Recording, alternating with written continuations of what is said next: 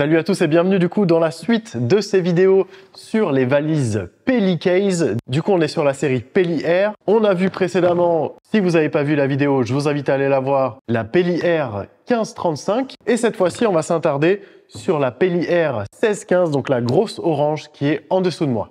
Du coup, je les mets côte à côte pour que vous puissiez bien voir la différence. On n'est pas sur le même volume, on n'est pas sur la même utilité euh, pour ces deux Pelly. La 1535, comme on l'a dit dans la vidéo précédente, est dédiée plutôt à voyager avec vous en avion sur les bagages cabine, tandis que la grosse, la Pelly Air 1615, est plutôt dédiée à voyager en soute ou, euh, si vous ne voyagez pas, à mettre beaucoup plus de matos dedans, des choses beaucoup plus volumineuses tout en étant très bien gardé par la marque Pelli comme d'habitude, donc étanche, résistante au choc, vraiment euh, du robuste comme on aime. Pour faire le tour du coup de cette Pelli Air 1615, donc Pelli Air c'est toujours euh, bien allégé à comparaison des autres Pelli, c'est la version euh, Pelli Air de chez Pelli Case.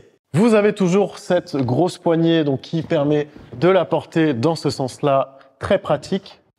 Vous avez toujours de quoi mettre vos cartes de visite ou euh, cartes avec vos coordonnées. On sait jamais en cas de perte ou autre de la valise. Vous avez cette fois trois loquets comme ceci à l'avant, un en dessous et un ici, avant de pouvoir déverrouiller la valise. Vous avez cette grosse poignée au-dessus, très pratique, si vous n'avez pas envie de déplier.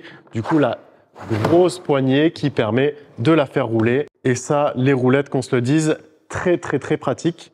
Elles sont aussi très robustes. Personnellement, celle-là, je l'ai mis dans l'eau de mer. Elle a vu la neige, elle a vu énormément de choses et ça n'a jamais bougé. Les traces que vous voyez, du coup, je l'ai beaucoup utilisé pour voyager. C'est les traces principalement euh, du voyage en soute. Mais j'étais très chargé et à comparaison du poids qu'il y avait dedans, tout était hyper bien sécurisé. Donc les mecs balançaient la valise, mais honnêtement, elle est hyper robuste et ça, ça fait plaisir. Vous avez toujours d'ailleurs euh, de quoi mettre un cadenas de chaque côté. Euh, c'est vrai que je l'ai pas dit sur la 1535, mais il y est toujours euh, chez Pelli.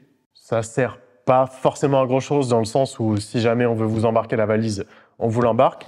Mais ça peut être dissuasif, on sait jamais. Concernant donc le volume à l'intérieur, on est sur quelque chose de très volumineux, comme je le disais, sachant toujours que si vous enlevez, on va dire, les parties de mousse, vous gagnez encore énormément. Je vais vous faire la démonstration pour que vous compreniez un peu. Du coup, à l'intérieur, il y a ces deux parties de mousse qui viennent complètement protéger tout ce que vous allez mettre dedans, plus la partie intérieure donc qui se met là, plus le trackpad du coup qui va entourer tous vos objets. Forcément, à comparaison du volume de la valise, vous allez perdre, ça c'est certain, mais avec toujours cette sûreté de mettre des objets qui sont hyper protégés dedans. J'avoue que personnellement, il m'est arrivé aussi de l'utiliser en valise tout simplement et de mettre aussi du matos euh, qui, craignait un petit peu, mais sans toute la partie mousse, ça m'a permis de mettre beaucoup beaucoup de choses. Par exemple, pour ceux qui font un petit peu d'aquatique, j'ai mis des palmes d'apnée, donc j'ai démonté les voilures et les voilures rentraient en diagonale comme ça dans la valise,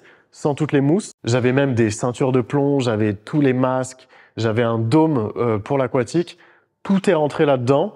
Et du coup, c'était aussi un super combo pour voyager, d'avoir tout mon matos là, plus les choses qui craignaient un petit peu moins, toutes mes affaires, etc. dans la 1615. Le combo était vraiment parfait pour voyager, qu'on se le dise. Sur cette 1615, du coup, je vais vous mettre la petite 1535 devant pour que vous ayez idée de tout ce qu'on peut mettre dedans. Déjà qu'on met beaucoup dans celle-là. Là, vous avez vraiment énormément de place. Je vous laisse d'ailleurs aller voir les dimensions qui sont indiquées directement euh, chez Pelli sur le site. Du coup, par exemple, mon caisson étanche du Canon R5 peut rentrer directement à plat dans ce sens-là. Donc, vous voyez le volume qu'il y a quand même pour faire rentrer un objet qui entoure déjà un appareil photo, donc qui est très volumineux. Là, je le mets ici, il a sa place parfaite, c'est nickel. Pour vous donner un exemple, là, vous avez un 70-200 RF, un 15-35 RF qui sont des objectifs assez volumineux. Regardez un petit peu le volume qu'ils prennent dans cette énorme 16-15. Donc si je le mets à plat, c'est ridicule, mais surtout, l'avantage, c'est qu'on peut voyager en les mettant dans ce sens-là, tout en refermant forcément l'appelli. Les objectifs seront calés avec la mousse qui est au-dessus. Donc vous imaginez le nombre d'objectifs qu'on peut mettre. C'est assez impressionnant. Pour continuer toujours dans l'aquatique, si vous avez vu la vidéo précédente concernant la 1535, j'avais un petit peu de mal à rentrer ce gros dôme. Là, cette fois-ci, dans celle-là, regardez, il passe nickel. Donc, il va dépasser un petit peu en hauteur sur la valise, mais en fait, ça va pas empêcher la fermeture parce qu'encore une fois, la mousse qui est ici va vraiment enrober l'objet. Et regardez, ça ferme nickel. Voilà donc un petit peu le tour de cette Pellière 1615 que je voulais faire avec vous.